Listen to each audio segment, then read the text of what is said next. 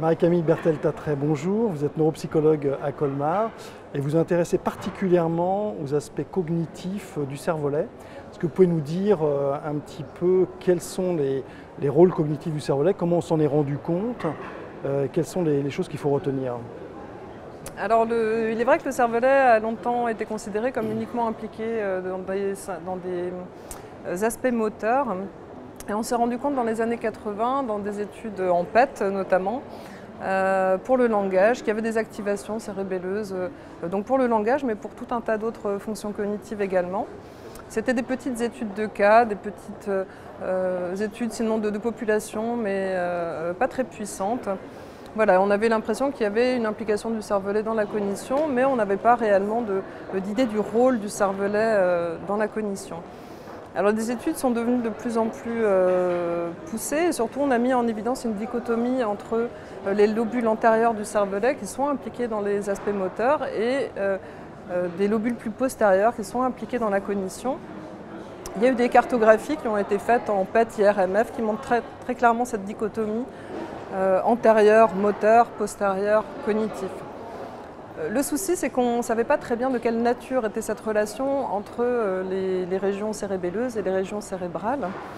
Euh, mais il a été montré finalement avec une, étude de Tedesco en 2011 que finalement le cervelet intervient à le même rôle pour les aspects moteurs que pour les aspects cognitifs, c'est-à-dire un rôle à type de modulation et de séquençage. Donc finalement de la même façon qu'on a une dysymétrie et une incoordination du mouvement, ben, on va avoir une dysmétrie et une incoordination euh, de la pensée qui peut se faire jour dans divers aspects cognitifs, que ce soit les fonctions cognitives, le langage, l'attention, etc. Alors au-delà de la cognition, est-ce qu'il y a aussi un rôle euh, du cervelet dans euh, les aspects psychologiques, les aspects émotionnels, les aspects affectifs?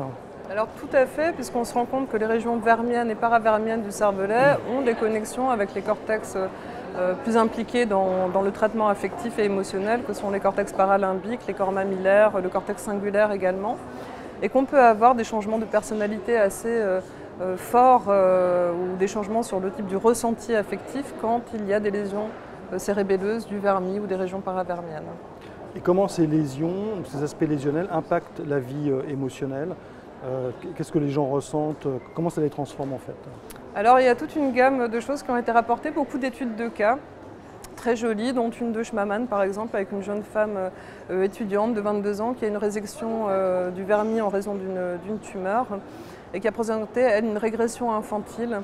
Euh, vraiment avec des, comportements oui, très enfantins, des comportements inadaptés, de se déshabiller dans les couloirs de l'hôpital, de parler la bouche pleine, d'avoir une voix très haut perchée, inintelligible, un changement de personnalité rapporté par la famille également. Il y a des choses plus anecdotiques, assez rigolotes, pas pour les patients, mais enfin intéressantes pour les neurologues. On va dire par exemple des rires et pleurs pathologiques, avec une perte de modulation. Donc le ressenti affectif est là, mais il n'y a pas d'adéquation, il n'y a pas de modulation, il n'y a pas d'ajustement par rapport à la situation cognitive ou contextuelle.